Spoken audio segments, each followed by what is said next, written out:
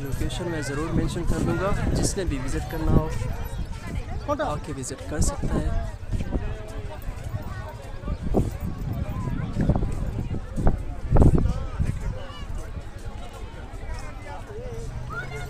हर तरह के लोग फैमिलियों के साथ बच्चों के साथ यहाँ के माहौल का